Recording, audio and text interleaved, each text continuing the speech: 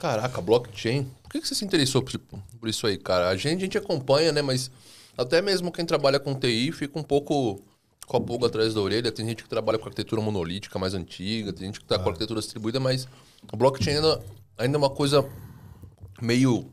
Tem gente Nova, ainda acha que é só gente, é. lavagem de dinheiro, que é coisa de bandido. É, ou, é. ou até mesmo, tipo, acha que é uma tecnologia que não vai ser aplicável no futuro. O que, que te, te atraiu nisso? Cara, eu acho que, assim, se você for pensar é, o que é, você encontra muito material, né? Do que que é. Aí você lá, o cara vai explica tal. Mas eu acho que pouca gente entendeu ainda o, o, o que que, aonde, o que que ele afeta.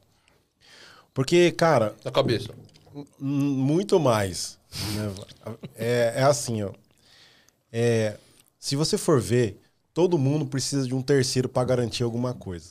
Todo mundo. Você tá falando tipo um. Qualquer coisa. um- como é que chama o pessoal lá? Cartório. Não, É, você faz um não, contrato, qual- tem um qualquer cartório. coisa. Qualquer, Qualquer coisa. coisa. Tudo. Por exemplo, Tem um intermediário. né? vou pegar um. Quero que o, o Antônio Um é um lindo. marceneiro e eu vou combinar com ele que ele vai fazer uma mesa para mim. Certo? Uhum. Então, tipo, se fosse lá atrás, eu trocaria a mesa por alguma coisa. Hoje, eu Sim. vou trocar alguma coisa que é um dinheiro com ele, né? Vou dar um dinheiro pra ele enquanto isso. Quem garante o dinheiro? Contrato. Tem que ter alguém que garante o- que o dinheiro vale alguma coisa pra você pagar a tábua, por Você tá exemplo. falando de um contrato? um Não, contrato. o Estado, por que, que, é, por que, Um que é acordo, um- né? um- uma notinha colorida com uma Isso. oncinha Isso. você adquire algum bem porque é um papel colorido. Quem garante que aquilo é real? Mas Aquilo o que, que vale é um alguma- papel com oncinha, cara? O que, que você tá É. falando? Você vai desenhar um papel e entregar pra ele? Pois é, então. É, nosso o que papel que moeda é faz, isso, né? O que que faz aquilo valer alguma coisa, entende? A- Alguém garante. Quem garante hoje é o, por exemplo, né, no caso do Nosso do grande pai. real Governo. é o, é o governo, né? E aí os bancos, os intermediários, etc. Mas gente, tem vários gente na cadeia garantindo, mas atrás de todo mundo tem gente, tem pessoas garantindo, né? E se a gente conseguisse que um sistema garantisse? E se a gente conseguisse que isso ficasse, assim, um, um, um programa de computador que garante e ninguém acessa. Ele é, ele é, ele tem independ, ele é independente. Se ninguém vai, nin- ninguém comanda, ninguém desliga, ninguém faz nada, cara. Ele é independente e é ele que vai tomar a decisão se aceita ou não a transação e tal. Ninguém põe a mão, ninguém consegue fazer nada. Mas Entende? é uma IA? Não, não é uma IA. É um negócio lá assim, cara, é, ele tá num lugar, eu não vou entrar em detalhe técnico aqui, tá? Mas imagina assim, ele tá num lugar na nuvem, na internet, vamos chamar de internet, tá na internet, tá funcionando lá, ninguém consegue é, alterar a regra dele, de como ele, ele funciona, e ele é independente. Ninguém desliga, ninguém acessa, ninguém faz nada. Mas por que ninguém desliga? Ele não fica no computador? Não, entende? Aí, o, o ponto-chave... né, E onde ele fica?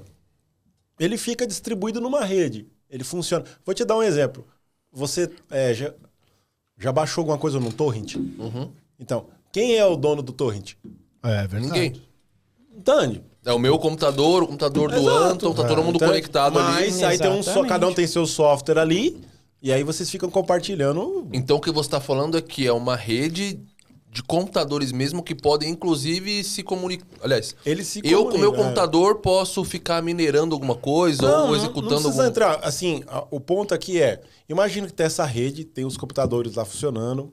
Não, não vou entrar, não vamos descer tanto no técnico. O ponto principal é o seguinte: todo mundo, até antes de surgir né, o, o Bitcoin que inaugurou a conversa toda, mas todo mundo precisava de um outro humano para autenticar qualquer coisa. Ah, eu preciso autenticar a assinatura, vou no cartório, é um cara, um dono do Uma cartório. entidade, né? né, ali, que, mas por trás dela tem um humano que Ah. autentica. Aí, de repente, um cara lá, um maluco lá, bolou um esquema que é o seguinte, cara, a partir de agora, é, você não precisa mais de um humano para te validar. Eu vou te dar duas unidades de moeda. Quem vai validar é uma máquina. Não é mais humano. Não é mais o banco que tem um CEO. Não é.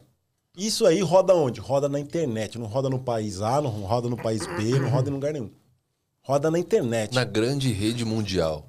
E, se, e se a internet se expandir para outros planetas na rede, na rede de planetas onde tem internet? Entende? Legal, entendi. Então, assim, ela é a primeira vez na história da humanidade, como diz, né? Primeira vez na história da humanidade que você tem isso.